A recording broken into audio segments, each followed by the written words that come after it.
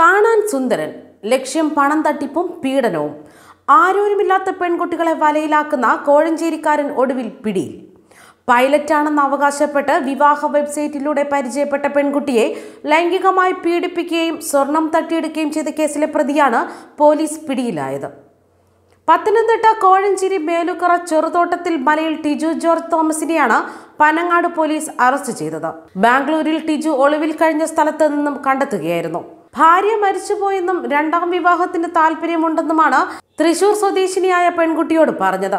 Air Asia എയർലൈനുകളിൽ താൻ pilot ആയിരുന്നെന്നും Canada മൈഗ്രേഷനുള്ള ശ്രമത്തിലാണെന്നും തെറ്റിദ്ധരിപ്പിച്ചാണ് അടുപ്പം സ്ഥാപിച്ചത്.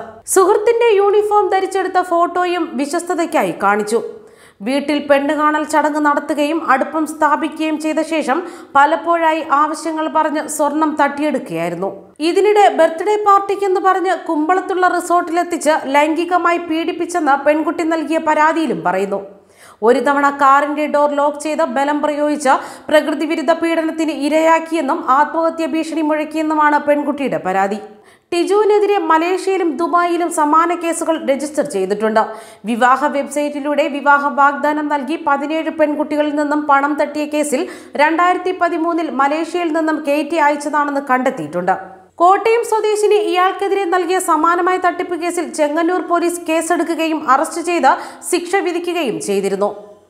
ടിജു ജോർജ് തോമസ് മലേഷ്യയിൽ തട്ടിപ്പിന് ഇരയാക്കിയത് പതിനേഴ് യുവതികളെയായിരുന്നു. യു എയിൽ ജോലി ചെയ്യുന്ന കോട്ടയം സ്വദേശിനി റോഷിനി എന്ന യുവതിയിൽ നിന്നും വൻതുക തട്ടിയെടുത്തെന്നും വെളിപ്പെടുത്തൽ. ഈ കേസിൽ ചെങ്ങന്നൂർ കോടതിയിൽ നിന്നും തനിക്ക് അനുകൂല വിധിയുണ്ടായതിനെ തുടർന്ന് ടിജു ഹൈക്കോടതിയിൽ അപ്പീൽ നൽകിയിരുന്നു.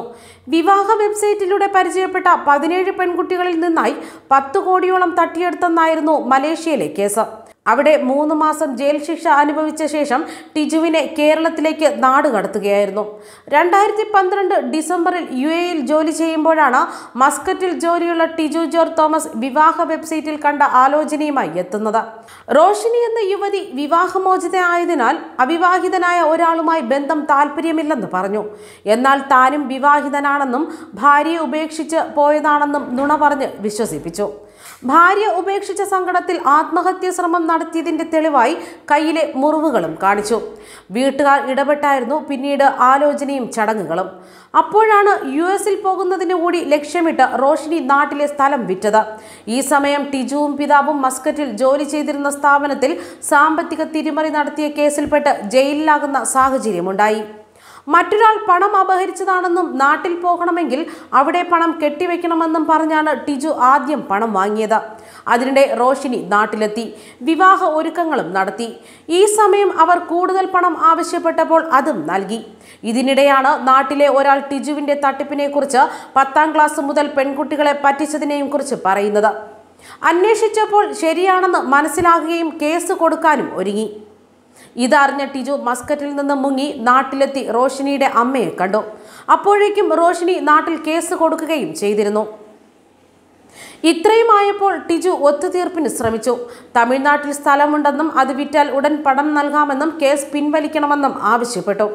ആ സമയത്തും തിരുവനന്തപുരത്തുള്ള ഒരാളെ വിവാഹം കഴിക്കാമെന്ന് പറഞ്ഞ് ടിജു അവർക്കൊപ്പം താമസിക്കുന്നതായും അറിഞ്ഞു. അതിനിടെ ടിജു വീണ്ടും ദുബായിലെത്തി. തുടർന്ന് റോഷിനി അബുദാബി പോലീസിൽ പരാതി കൊടുത്തതോടെ പണം തിരിച്ചു നൽകാമെന്ന് കരാർ എഴുതി നൽകി.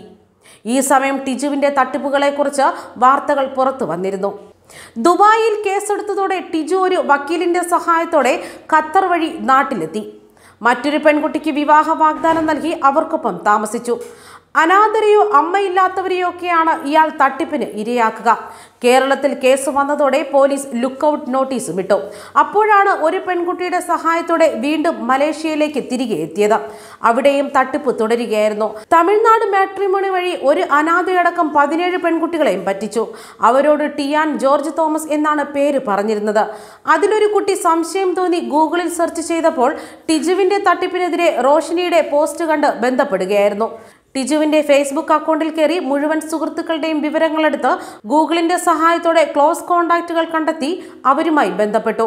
മലേഷ്യയിൽ തട്ടിപ്പിനിരയായ പെൺകുട്ടികളെ ഇത്തരത്തിലാണ് കണ്ടെത്തിയത്. അവരിൽ പലരും ലൈംഗിക പീഡനത്തിനും ഇരയായിരുന്നു. അവരെക്കൊണ്ട് മലേഷ്യൻ എംബസിയിലും മറ്റും കേസ് കൊടുപ്പിച്ചതോടെ അറസ്റ്റുമുണ്ടായി. നാട്ടിലുള്ള കേസിന്റെ വിവരങ്ങളെല്ലാം കൈമാറി.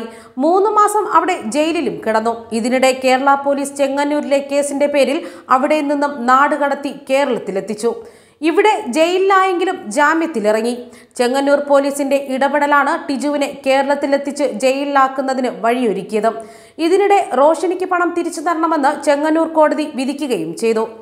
അതിനുശേഷം രണ്ടായിരത്തി പതിനഞ്ചിൽ വിളിച്ച് പന്ത്രണ്ട് ലക്ഷം രൂപ തരാമെന്നും കേസ് ഒത്തുതീർപ്പാക്കണമെന്നും പറഞ്ഞു. പറ്റില്ലെന്ന് പറഞ്ഞതോടെയാണ് ഹൈക്കോടതി സമീപിച്ചതും. ടിജുവിന്റെ പിതാവിനെ കേസിൽ നിന്ന് ഒഴിവാക്കണമെന്നാണ് ആവശ്യം. എന്നാൽ പിതാവ് നേരിട്ട് ഇടപെട്ടിട്ടുള്ളതിനാൽ ഒഴിവാക്കാനാവില്ല എന്ന് കോടതി അറിയിച്ചിട്ടുള്ളതുമാകുന്നു. പ്രതിയെ കൂടുതൽ തെളിവെടുപ്പിനായി കസ്റ്റഡിയിൽ വാങ്ങുമെന്ന് പോലീസ് പറഞ്ഞു. News desk Karma news.